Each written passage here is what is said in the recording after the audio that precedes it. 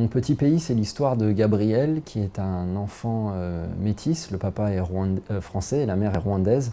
Il grandit au Burundi, euh, dans la capitale, Bujumbura. Et donc on va le suivre pendant 2-3 ans.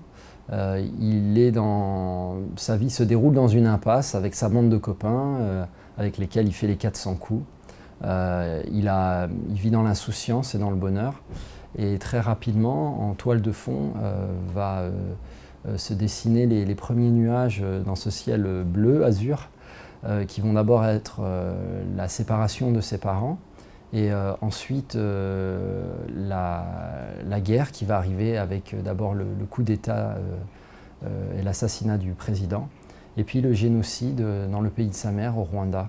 Et donc successivement, on va, on va voir Gabriel passer de l'innocence de l'enfance à la à la réalité d'un monde qui bascule euh, vers des ténèbres, euh, vers, euh, vers la guerre, vers la violence.